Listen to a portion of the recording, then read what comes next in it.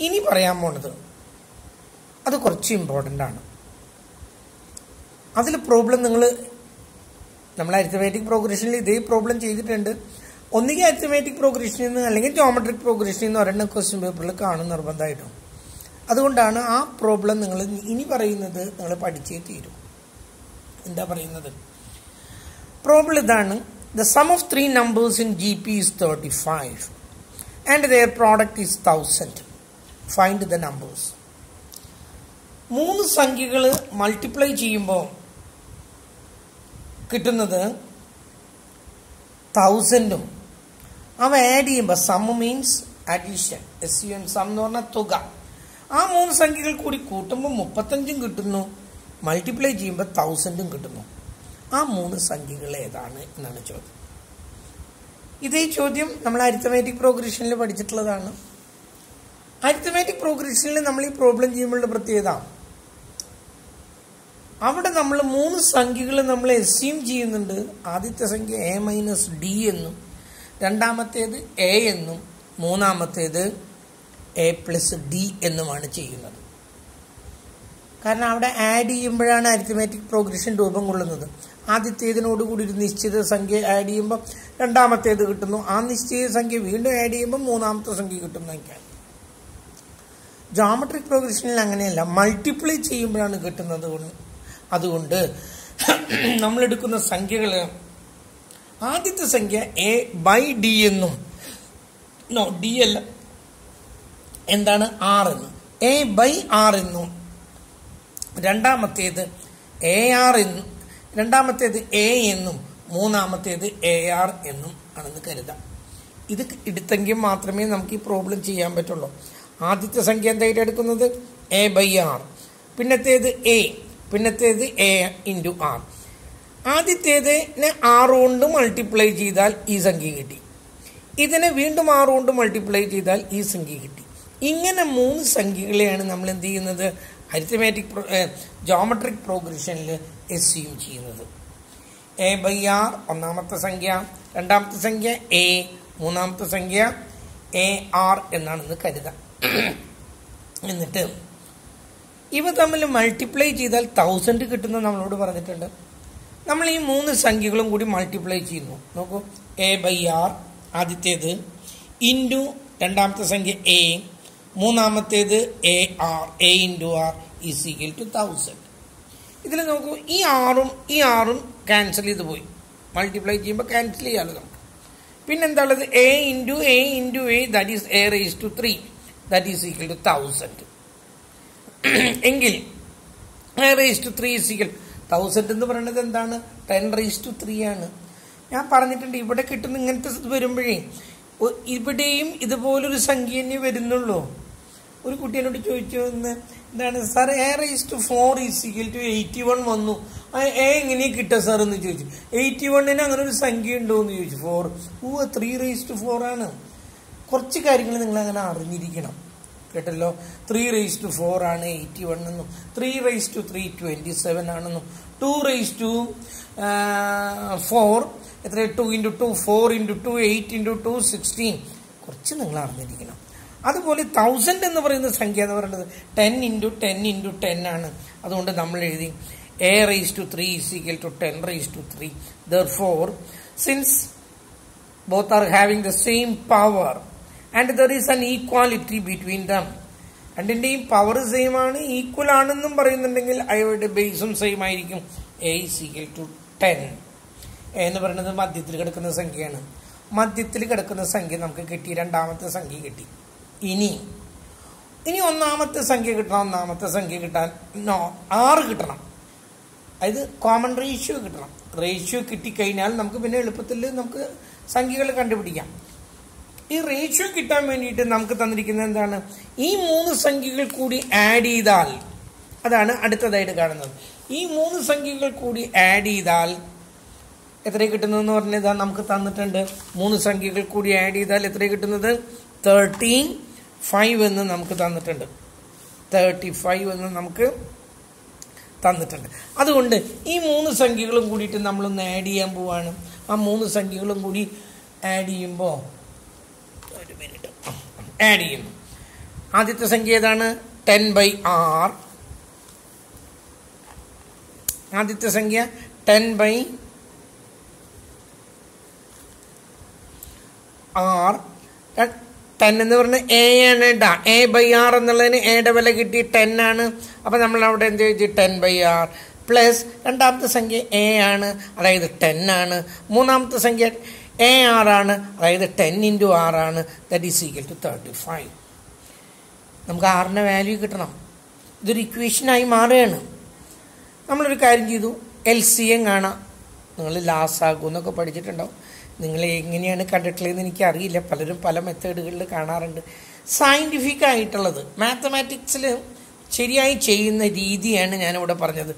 നിങ്ങൾ നിങ്ങൾ പഠിച്ചിട്ടുള്ള രീതിയിലാണ് എങ്ങനെയാണെങ്കിൽ അത് ചെയ്യുക നമ്മളൊരു വര വരച്ചു. എന്താണ് അതിന്റെ എൽ സി എം എന്ന് നോക്കി.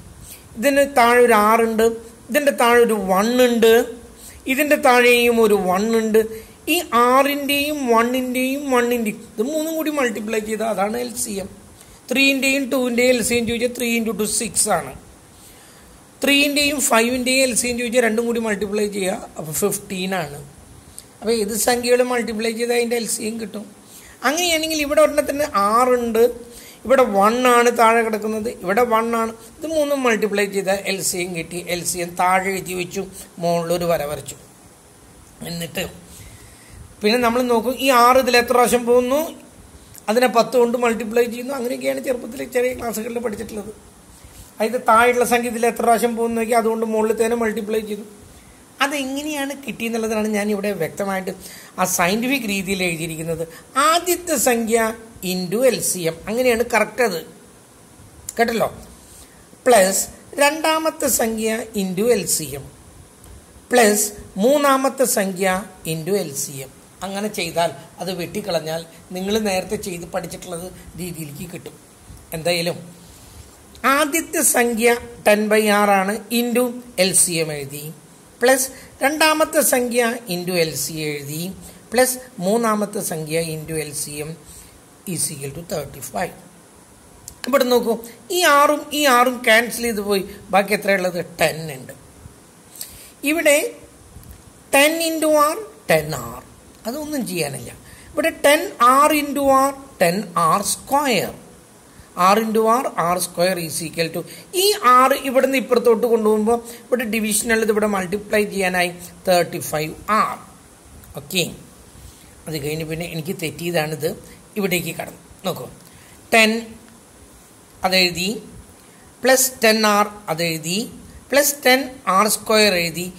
ഈ തേർട്ടി ഫൈവ് ആറിനെ ഞാൻ ഇപ്പുറത്തോട്ട് കൊണ്ടിരുന്നു കൊണ്ടുവരുമ്പോൾ automatically that becomes negative since it is positive positive ആയതുകൊണ്ട് അത് നെഗറ്റീവ് ആവും ഈസ് ഈക്വൽ ടു സീറോ നമ്മൾ ഇക്വേഷനാക്കി മാറ്റുകയാണ് കേട്ടല്ലോ. Ten r square. ഇവിടെ ഒരു ടെൻ ആർ ഉണ്ട്. പ്ലസ് ആണ്. ഇവിടെ ഒരു മൈനസ് തേർട്ടി ഫൈവ് ആറുണ്ട് ഉണ്ട് പ്ലസും മൈനസ് ആയതുകൊണ്ട് അവ തമ്മിലുള്ള വ്യത്യാസം കാണുന്നു. വലുതിന്റെ ചിഹ്നം എഴുതുന്നു. മൈനസ് ട്വന്റി ഫൈവ് ആർന്ന് കിട്ടി. ഇത് പ്ലസ് ടെൻ ആറാണ് ഇത് മൈനസ് തേർട്ടി ഫൈവ് ആറാണ് അവ തമ്മിലുള്ള വ്യത്യാസം കണ്ടു. വലുതിന്റെ ചിഹ്നം എഴുതി. പിന്നെ ഇവിടെ എന്താ ഉള്ളത്? ഒരു ടെൻ ഉണ്ട്. അപ്പം നോക്കൂ നമ്മളിതൊന്ന് ഒതുക്കി എഴുതിയതാണ്. ആദ്യം ടെൻ സ്ക്വയർ എഴുതി.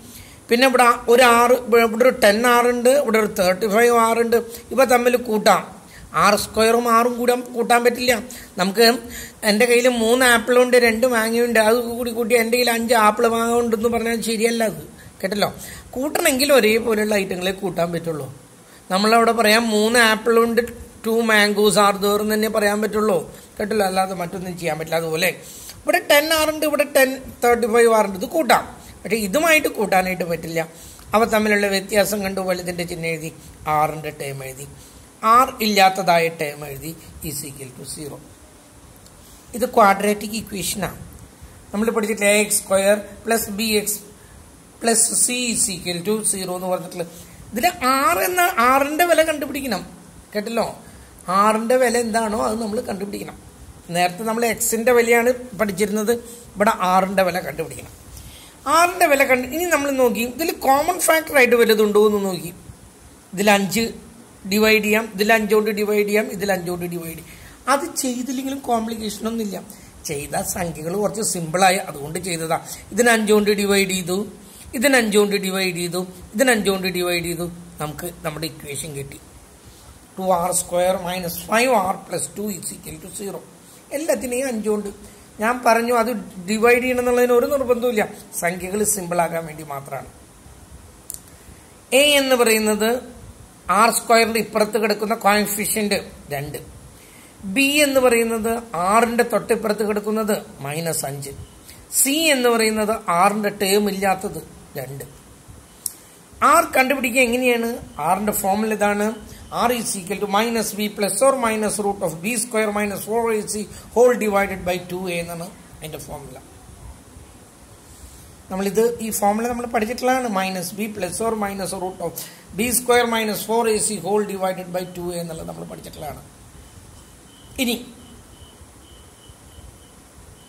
എയുടെയും ബിയുടെയും സിയുടെയും വില കണ്ടു. നമ്മൾ അതിലേക്ക് അപ്ലൈ ചെയ്യുന്നു. ബിയുടെ വില മൈനസ് ഇനി ബിയുടെ വില എന്താണ് ഇവിടെ പറഞ്ഞിട്ടുള്ളത്? എവിടെ നമ്മൾ ബിയുടെ വില അതാ മൈനസ് അഞ്ചാണ്. ആ മൈനസും ഈ മൈനസും കൂടി ആകുമ്പോൾ പ്ലസ് ആയി. കേട്ടല്ലോ? ഇവിടെ ഒരു മൈനസ് ഉണ്ടാകണം. ഇതിൽ ബിയുടെ വാല്യൂവിൽ ഒരു മൈനസ് ഉണ്ട്. രണ്ട് മൈനസും കൂടി ആയപ്പോൾ അത് പ്ലസ് ആയി. Plus or minus root of ഈ ഫൈവിന്റെ square twenty five minus four into എയുടെ വില എത്രയാണ്? ടു സിയുടെ വില എത്രയാണ്? Two whole divided by two into എയുടെ വില എത്രയാണ്? Two two into two. അടുത്തത് five plus or minus root of twenty five. Four into two into two that give sixteen four into two eight into two sixteen ഒരെണ്ണം minus ആയതുകൊണ്ട് മുഴുവൻ minus ആയി minus sixteen whole divided by four എന്ന് കിട്ടി.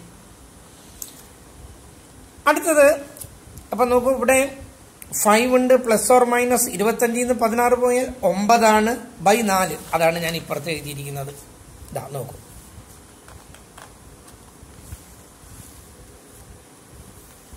ഇവിടെ എന്ത് എഴുതിയിരിക്കുന്നത്? നേരത്തെ അവിടെ പറഞ്ഞാണ് five plus or minus root nine ഇരുപത്തഞ്ചിൽ നിന്ന് പതിനാറ് പോയപ്പോൾ ഒമ്പത് divided by four is equal to five plus or minus നയന്റെ root എത്രയാണ്? Three divided by four. ഒരു ഉത്തരം അഞ്ച് പ്ലസ് മൂന്ന് ബൈ നാല്. അഞ്ച് പ്ലസ് മൂന്ന് ബൈ നാല്. എട്ട് ബൈ നാല് ഈസ് ഈക്വൽ ടു രണ്ട്. രണ്ടാമത്തെ ഉത്തരം അഞ്ച് മൈനസ് മൂന്ന്. ഇതാ ഇങ്ങനെ. അഞ്ച് മൈനസ് മൂന്ന് ബൈ നാല് ഈസിക്കൽ ടു രണ്ട് ബൈ നാല് ഈസിക്കൽ ടു ഒന്ന് ബൈ രണ്ട്. ഇത് നമുക്ക് വേണ്ട. നമുക്ക് ഒരെണ്ണം വെച്ച് ചെയ്താൽ മതി. രണ്ട് വെച്ച് ചെയ്താലും ഉത്തരം സ്വയം കിട്ടുള്ളൂ. ഇത് വേണ്ട. നമ്മൾ ഈ സംഖ്യ മാത്രം എടുക്കണുള്ളൂ. ഒരെണ്ണം വെച്ചിട്ടുള്ള ചെയ്താൽ മതി. ആദ്യത്തെ ടേം കിട്ടണം. ആദ്യത്തെ ടേം നമ്മൾ പറഞ്ഞിട്ടുണ്ട്. എ ബൈ ആർ എന്നാണ് പറഞ്ഞിട്ടുണ്ട്.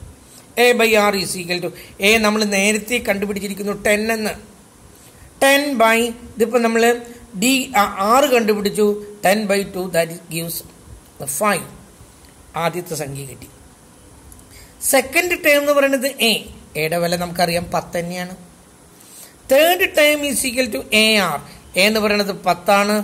ആർ എന്ന് പറയുന്നത് രണ്ടാണ്. പത്ത് ഇന്റു രണ്ട് ഇരുപത്. നോക്കൂ ഫൈവ് ടെൻ ട്വന്റി ഇതാണ് സംഖ്യകൾ നമ്മുടെ ഉത്തരമായി ഒന്ന് ശ്രദ്ധിച്ച് ചെയ്യേണ്ടതാണ് ഇത് കേട്ടല്ലോ? അത്ര സിമ്പിളായിട്ട് നിങ്ങളതിനെ കാണരുത്. കുറച്ച് ബുദ്ധിമുട്ടുണ്ട്. പക്ഷേ ഇത് ഒഴിവാക്കാൻ പറ്റാത്തൊരു പ്രോബ്ലം ആയതുകൊണ്ടാണ് നമ്മളത് അത്ര ഇതായിട്ട് ചെയ്യുന്നത്. അടുത്തത്